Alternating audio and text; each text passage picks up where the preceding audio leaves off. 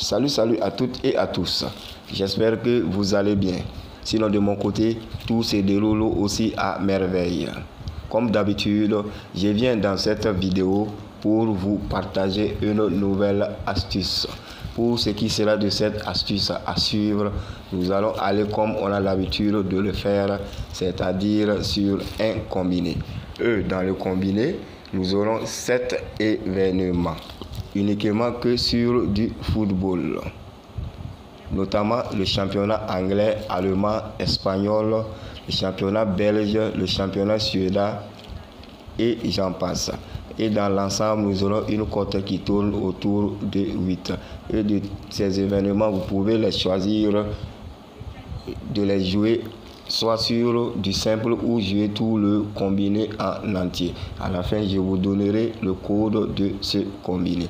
Et sachez qu'il y a également un groupe Telegram dont je vous laisserai le lien à la fin de la vidéo. Ainsi donc, sans plus tarder, nous allons nous rendre aux côtés des paris sportifs pour nos sept événements tantôt évoqués.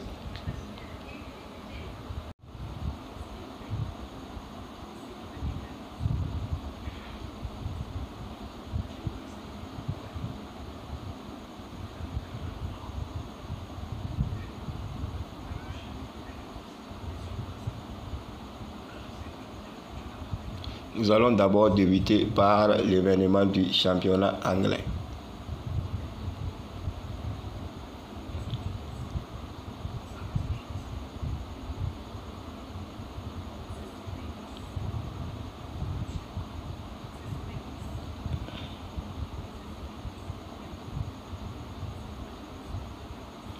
À ce niveau, le match concerné est le match entre Leicester et Crystal Palace. Alors donc, sur ce match, je suis allé sur l'option totale individuelle pour l'équipe de Crystal Palace. Et à cette équipe, j'ai attribué un nombre de plus de 0,5 buts. C'est-à-dire un but pour l'équipe de Crystal Palace dans cette rencontre. Alors pourquoi j'ai choisi cette option? Alors, j'ai constaté que l'équipe de Crystal Palace est une équipe qui fait d'énormes surprises dans ce championnat anglais. Elle arrive en général à marquer au moins un but dans la plupart des rencontres qui l'opposent à ses adversaires. Même si l'adversaire est favorite que lui, dans la rencontre, cette équipe de Crystal Palace arrive toujours à marquer au moins un but. Alors face à l'équipe de Leicester qui cette année n'arrive pas à trouver ses repères dans ce championnat et arrive même à perdre les matchs, même quand ces matchs paraissent faciles pour elle. Je pense que face à cette équipe, des joueurs durs comme Wilfried Zaha et Eze, j'en passe, je pense que Crystal Palace marquera au moins un but dans cette rencontre. Après donc ce premier événement, nous allons nous rendre maintenant au niveau du championnat italien.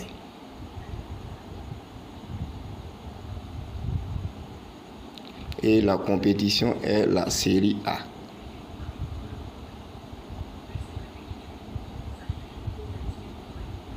Et à ce niveau, le match que j'ai sélectionné est le match entre Empoli et Monza 1912.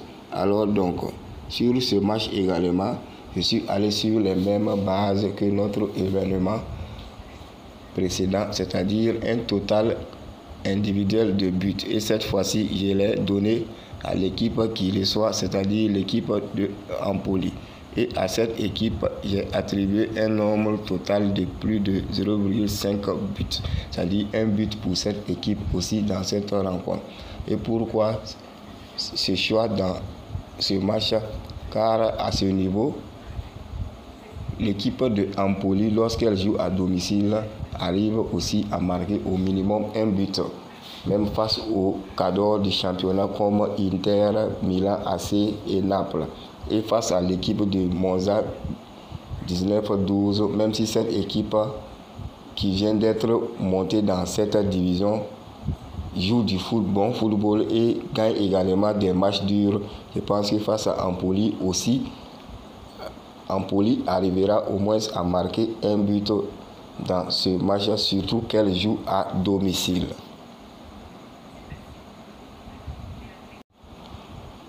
Continuons sur notre troisième événement. On va se rendre maintenant au niveau du championnat français.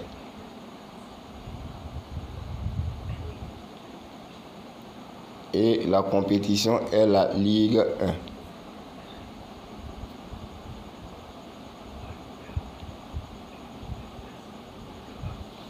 1. Et à ce niveau, mon choix s'est porté sur le match entre le Lorient le Stade de Reims.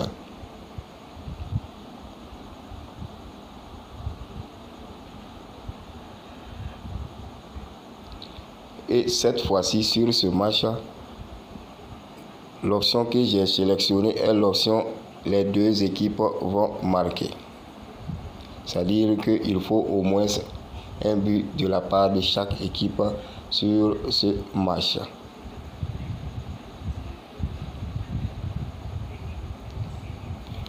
Et comme vous le constatez, mon choix s'est porté sur cette option sur ce match car les statistiques de la Ligue montrent que il est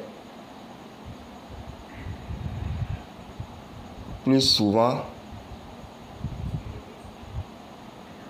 ou plutôt on rencontre plus souvent ce genre d'événement dans le championnat français, c'est-à-dire l'événement les deux équipes vont marquer est très fréquent dans le championnat français.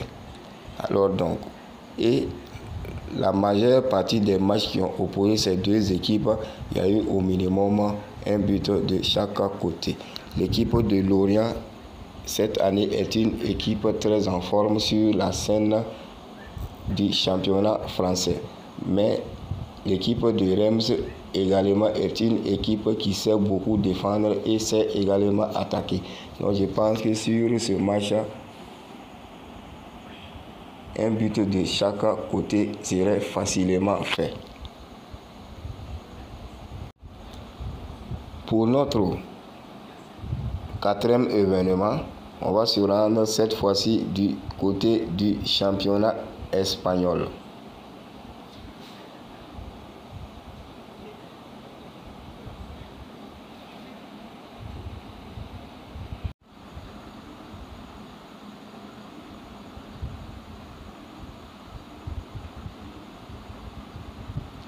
Et la compétition est la Liga.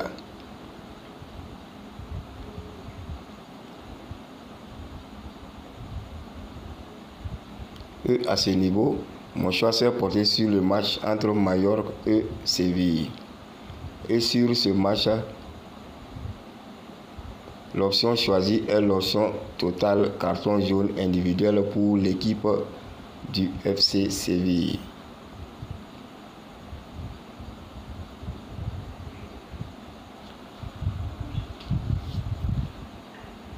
Et à cette équipe, j'ai attribué un total de plus de 1,5 cartons jaunes, soit deux cartons jaunes dans la rencontre. Et ce choix a été fait du fait que la plupart des matchs entre le FC Séville et Mallorca, il y a au, minimum 5 à 6 cartons jaunes qui sont distribués dans ces matchs car je ne sais pas ce qu'il y a entre ces deux équipes, mais il y a tellement de fautes dans les rencontres qui les opposent que je pense que le FC Séville, qui est une équipe également qui joue dur, prendra au minimum deux cartons jaunes dans cette rencontre.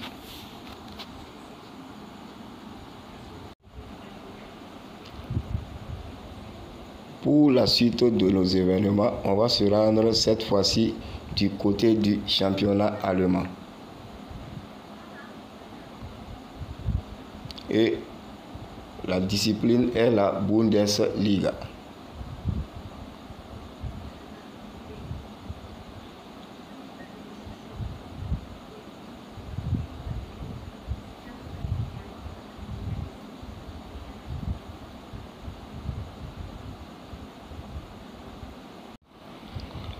Sur cette Bundesliga, mon s'est porté sur le match entre l'Eintracht Francfort et le Bayern Leverkusen.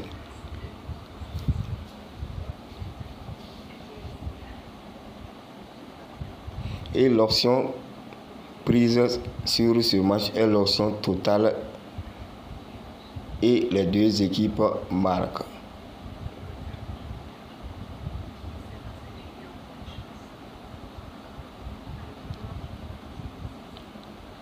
Et sur ce match, je suis allé sur plus de 2,5 buts. C'est-à-dire qu'il faut 3 buts dans le match et que les deux équipes marquent.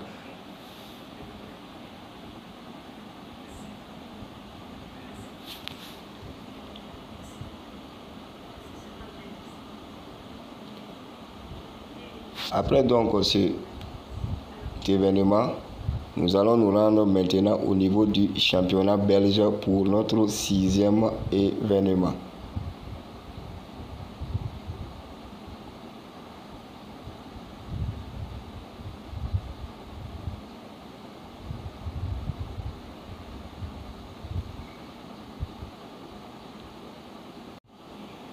À ce niveau, nous allons rester sur la Jupiter League.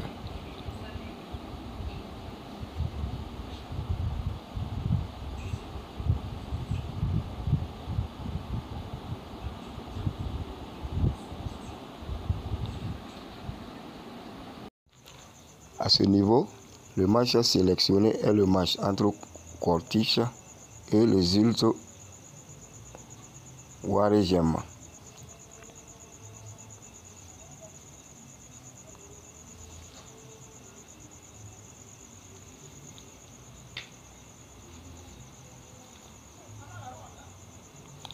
Et à ce niveau, j'ai opté pour l'option totale de buts plus de 2. C'est-à-dire il faut dans la rencontre 3 buts pour que nous soyons validés sur cette option. Et au cas où le match se terminerait sur un score de 2-0 ou un score nul de 1 but partout, nous serons remboursés sur nos deux buts dans l'option.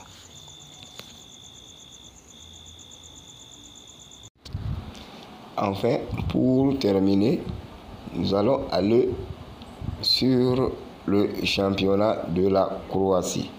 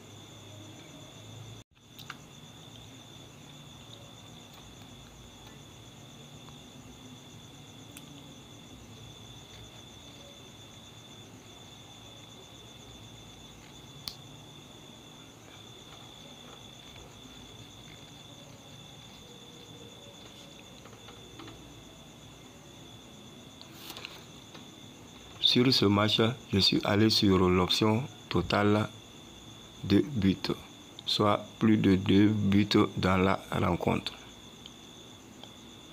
Et pourquoi cette option? Car j'ai constaté que la plupart des matchs que l'Ozicek joue à domicile face au NK Istra 1961, il y a dans 100% dans ces rencontres plus de 2,5 buts.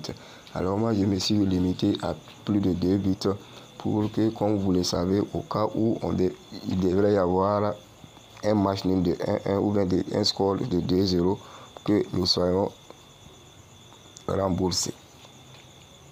Alors donc, voilà nos sept événements réunis. Et ensemble, nous allons constater la cote. La cote a grimpé à 11,4 94. J'avais dit tantôt une cote de 8, mais nous constatons que les, les réagissements ont envoyé la cote à 11,94. Alors donc, pour ce qui est du call de ce combiné,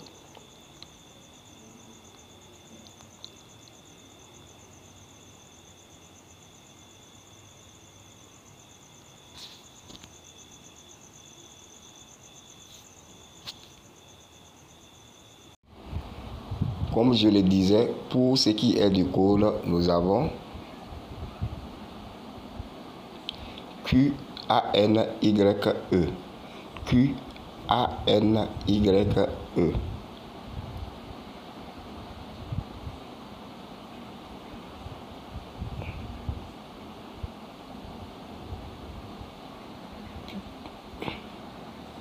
Voilà donc notre code pour cette astuce sur lequel je vous invite tous à miser quelque chose.